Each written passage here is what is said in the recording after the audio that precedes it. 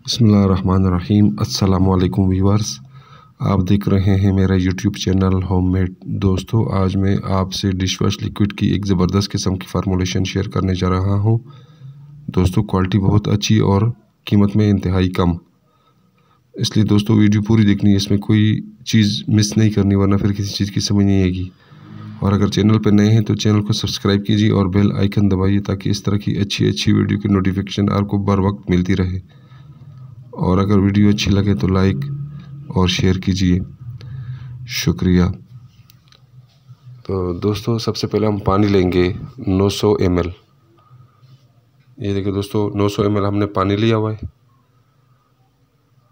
और उसमें हम एसिलियस यानी शैम्पू बेस सेवेंटी परसेंट वाला चालीस ग्राम मिलाएँगे दोस्तों एसिलियस यानी शैम्पू बेस का काम है झाग बनाना और इससे हमारा प्रोडक्ट गाढ़ा भी हो जाता है।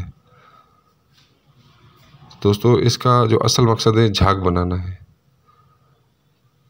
तो दोस्तों, हम कोशिश करें कि अपने प्रोडक्ट में अच्छी क्वालिटी वाले इंग्रेडिएंट्स डालें, ताकि हमारा प्रोडक्ट भी क्वालिटी वाला बने, क्योंकि क्वालिटी पे कोई कंप्रोमाइज़ नहीं है।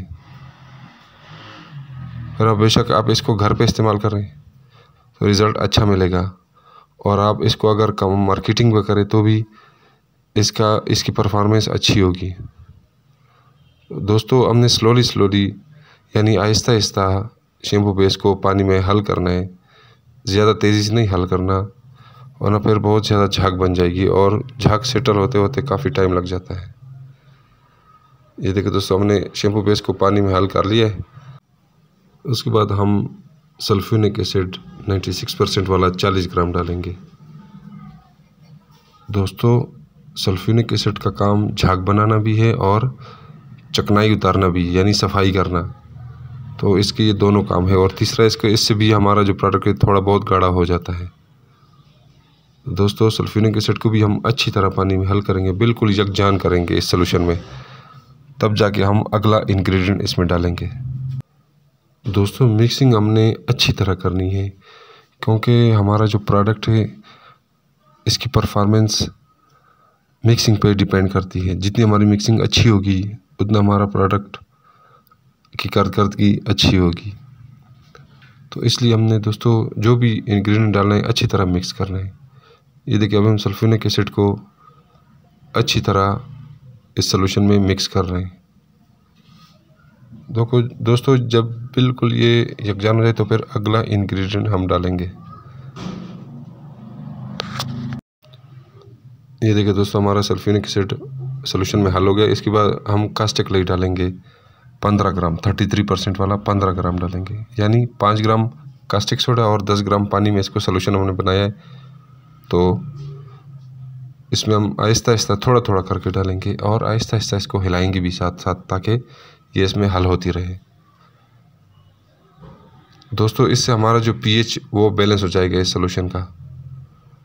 क्योंकि जो एसिड स्लरी है वो एसिडिक होता है ना, उसका पीएच दो से तीन होता है। तो जब हम कास्टिक क्लोराइड डालेंगे तो तो इससे हमारा जो हमारे प्रोडक्ट का जो पीएच है वो बैलेंस हो जाएगा। ये देखिए दोस्तों अपन कास्टिक क्लोराइड को अच्छी तरह मिक्स कर रहे हैं। दोस्तों मिक्सिंग पे कोई कंप्रोमाइज़ नहीं है। मिक्सिंग हमारी परफेक्ट होनी चाहिए, पूरी तरह होनी चाहिए, सौ फ़ीसद। मिक्सिंग में कोई कोताही, कोई सुस्ती नहीं करनी। दोस्तों कस्टकलाई हल करने के बाद हम इसका पीएच मालूम करेंगे। दोस्तों, हमारा जो प्रोडक्ट का पीएच है, वो पाँच से सात होना चाहिए। ये देखिए दोस्तों, हमारे प्रोडक्ट हमारे सोल्यूशन का पीएच छः है। यानी हमारे प्रोडक्ट का जो पीएच है, वो बैलेंस हो गया है। दोस्तों पीएच बैलेंस होने के बाद इसमें हम प्रिजर्वेटिव डालेंगे फार्मालिन पाँच ग्राम डालेंगे इसमें। दोस्तों, फार्मालिन से जो हमारा प्रोडक्ट है, वो प्रिज़र्व हो जाता है। यानी इससे हमारे प्रोडक्ट की शेल्फ़ लाइफ बढ़ जाती है। आप एक साल तक भी इसको रखें तो ये ख़राब नहीं होगा।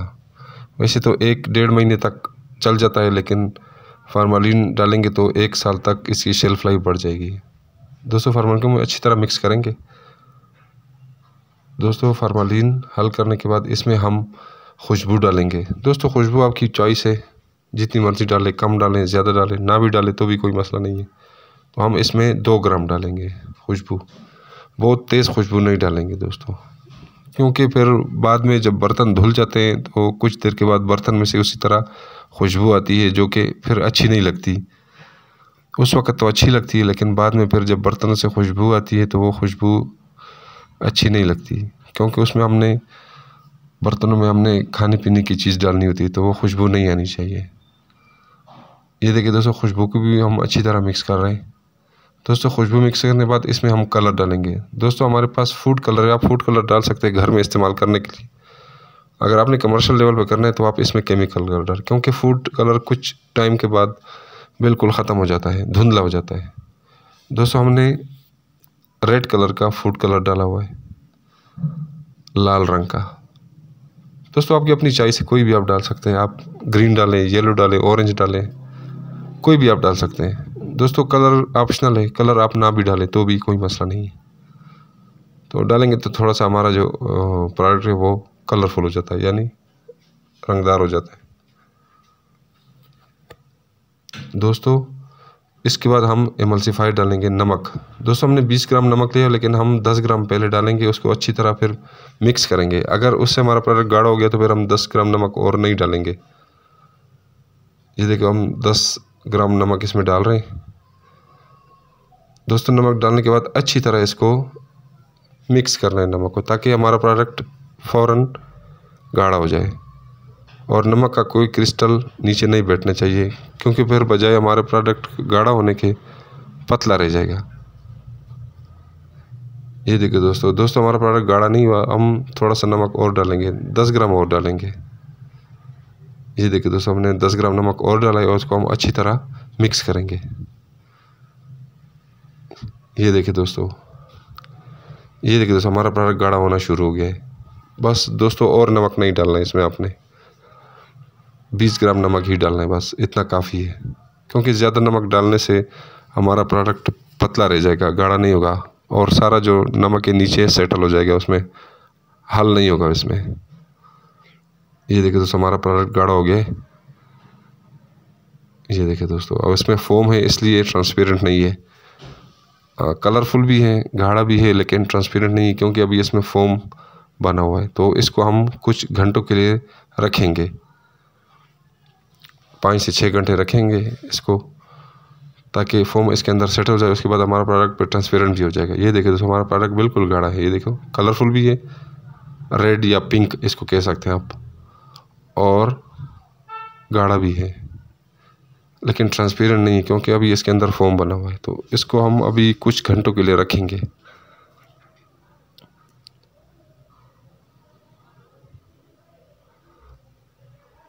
ये देखिए दोस्तों, हमारा प्रोडक्ट कुछ घंटों के बाद इसकी ये शेप आ गई। बिल्कुल ट्रांसपेरेंट है और कलरफुल भी है, खुशबूदार भी है और गाढ़ा भी है। ये देखिए दोस्तों। दोस्तों, ये बहुत ही आला क्वालिटी वाला है। कमर्शियल फार्मोलेशन है दोस्तों। और कीमत में भी कम है। इस पर बहुत कम ख़र्चा हुआ है। वो मैं डिस्क्रिप्शन में बता दूँगा कि इस पर कितना ख़र्चा आया है। ये देखिए दोस्तों, बिल्कुल गाढ़ा है और पिंक कलर का है। आप इसको पिंक कहें या रेड कहें, इससे कोई फ़र्क नहीं पड़ता। अगली वीडियो में फिर हाजिर होंगे। इजाज़त दीजिए। अल्लाह हाफिज़।